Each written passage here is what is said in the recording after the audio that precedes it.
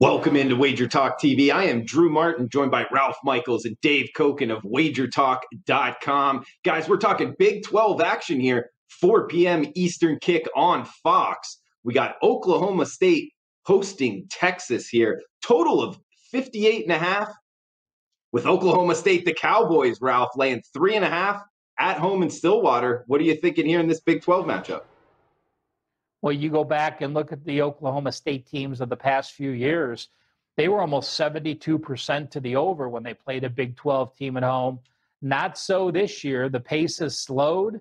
They still have the same offense, of course. Sanders was banged up and, and Chuba Hubbard, but you know, it's that defense that has played really well. And I do want to point out, even though the defense is putting up incredible numbers, allowing 303 yards per game and only 12 points per game, it's still not an elite defense because they haven't held any of those last three opponents to a season low. And that's what that's where I gauge an elite defense. If you're three or four games into the season and you held those opponents to a season low, then you are an elite defense. But West Virginia, when they allowed 353, that was not a season low. 193 to Kansas was not Kansas's worst performance, and the same against Iowa State. I just think this Oklahoma State team, again, it's just even though Wallace is there and Hubbard and, and Sanders is back, you know, Illingworth, Illingworth has played well, 73% completions.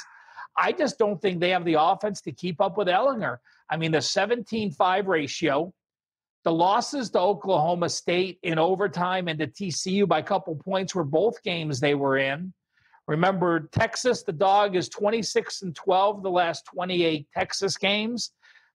Not going to make my card two evenly matched teams. I am going to take the quarterback playing in much better form with Texas and Ehlinger and the points.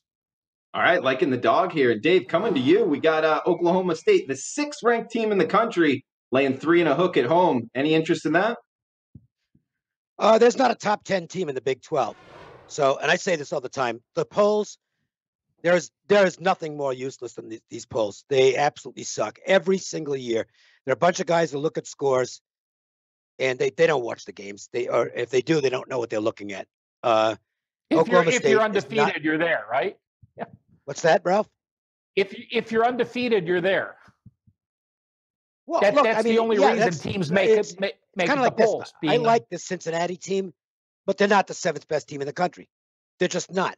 Okay, Oklahoma State is not the sixth best team in the country. That's not a knock on Oklahoma State, as much as it is as it is on these stupid polls.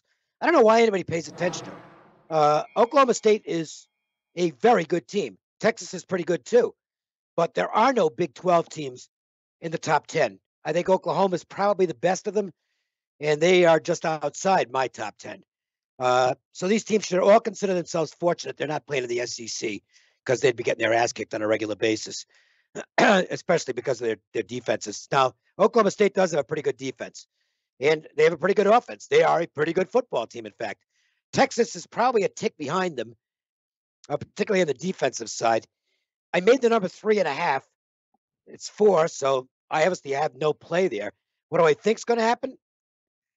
I think Oklahoma State will find a way to outplay Texas and lose the football game. That's just a guess. Okay, but I Gundy doesn't win big games. He just doesn't. Uh, he's been there a long time, and you can count on you can literally count on one hand the number of really big games that he's won. He's come close in a lot of them, but he doesn't get the W. So it's just a guess. I'm not recommending anybody puts any money on it because my number again is three and a half, and and the line is four. So basically, I think it's lined right. But my guess is Texas. All right, Dave, good stuff there. And, and yeah, coming to you, Ralph, here in conclusion.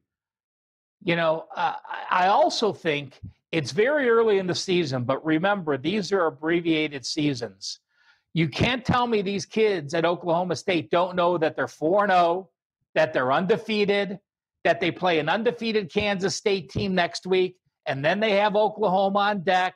And if they get through Texas and they get through Kansas State and they get through Oklahoma, they have a shot to make it to the playoffs. It's early to be talking that kind of mindset, but in this season, I know it's happening already there in, in Stillwater, and I think that that's It puts a lot of pressure on those kids, and a lot of it, I mean, all of it is self inflicted. But I think that comes into play here in these games already in, in mid October. Please let Oklahoma Mike, State make. Please let Oklahoma State make the playoffs. Please, because I'm one plus, zero. Plus twenty, plus twenty one against Ohio State. Uh, Ohio State or uh, Alabama or Clemson would blow them off the field. Three touchdowns wouldn't uh, be enough.